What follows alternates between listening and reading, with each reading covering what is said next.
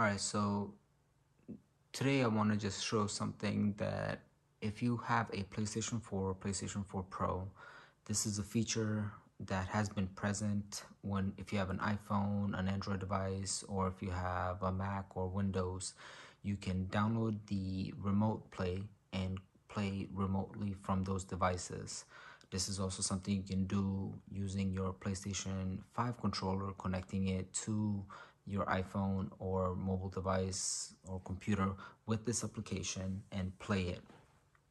So when the PlayStation 5 was coming out, Sony made it available for PS5 remote play on the PS4 and PS4 Pro.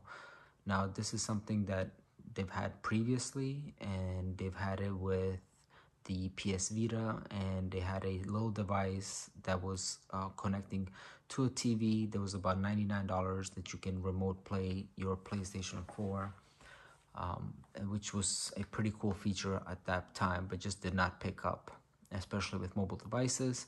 So you have so many different options now. But if you have a PlayStation 4 or PlayStation 4 Pro, and you have a PlayStation 5, this allows you to place it in different rooms and connect to it and play remotely if that's what you desire to do. Its setup is fairly easy. You Once it downloads, you can go ahead and enable the feature on your uh, PlayStation 5 and to do that what we just want to do is we want to go to settings on the PlayStation 5 you will go to system and then you go to remote play and here you can enable it and set up and you can see link devices connection history and so on. But it's fairly easy setup and the connectivity is fairly smooth. No issues there.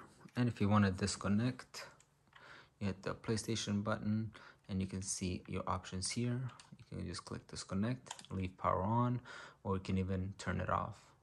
So somebody that has a PlayStation 4 and wants to use the this functionality it's pretty cool just because it gives you a different option with connecting and gaming uh, within your house especially if you have it set up at your office desk or if you have it set up in a different room even if you have it set up for your kids and where they want to connect and play. So a lot of different options for what this can be used but overall a pretty cool feature.